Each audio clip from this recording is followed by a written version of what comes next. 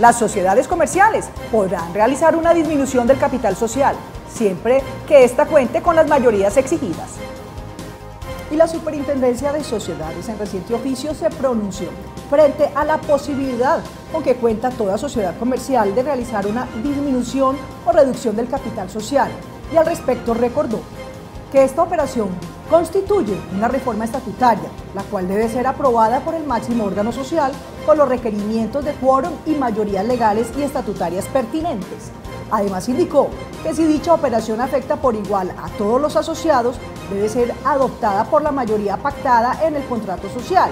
Si por el contrario, la reducción solo cobija a uno o algunos asociados y no a todos, la decisión deberá contar con el voto afirmativo de la totalidad de los que conforman el capital social, incluyendo los votos de aquellos a quien o quienes se les haya de reducir su aporte.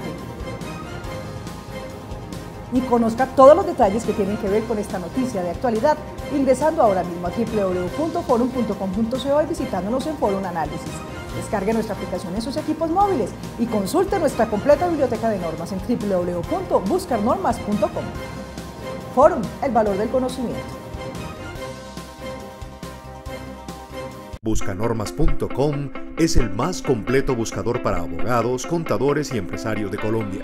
Es la mejor herramienta de actualización y consulta donde podrás encontrar la información más relevante de la normatividad nacional de manera rápida, sencilla y confiable. No pierdas más tiempo buscando las normas que necesitas en docenas de libros o páginas de internet. Accede ahora mismo a buscarnormas.com y encuentra toda la información que necesitas en nuestro buscador con un solo clic.